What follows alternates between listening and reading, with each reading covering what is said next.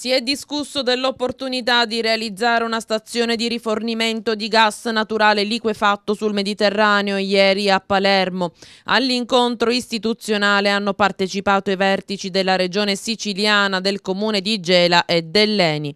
Tra gli argomenti affrontati anche la questione degli oneri di compensazione. Il vice sindaco di Gela, Simone Siciliano. Si prova a trovare un accordo tra regione, comune, eh, quindi amministrazione comunale ed Eni per proseguire con eh, le due fasi che eh, sono necessarie e imprescindibili per realizzare la stazione di rifornimento GNL. E queste fasi in cosa consistono? Consistono fondamentalmente nel eh, creare la domanda, cioè consolidare la domanda oltre a quella che ha già valutato, valutato Eni, ad esempio la Regione eh, proverà a coinvolgere diciamo, i, la flotta peschereccia di Mazzara per provare a capire se un refitting navale eh, per i pescherecci diciamo, possa mh, permettere di garantire una, una, quota di mercato rilevante per Eni e sostenibile ecco, per, diciamo, per, i pescherecci eh, del Mediterraneo. Eh, d'altra parte diciamo, l'amministrazione ha già lavorato da diverse settimane eh,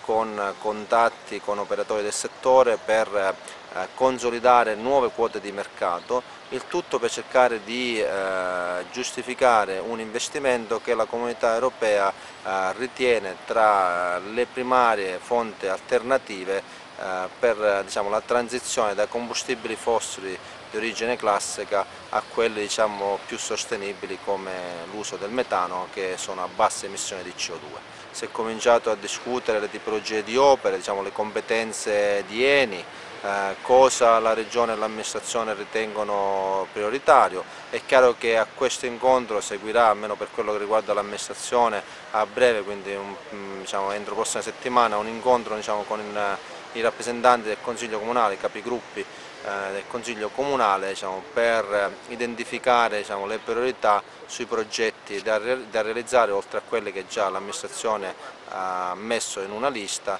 quindi in aggiunta a questi eh, per appunto trovare il modo di far ricadere sul territorio eh, l'investimento, questo investimento di 32 milioni di euro che darebbero una boccata d'ossigeno notevole certo, al territorio.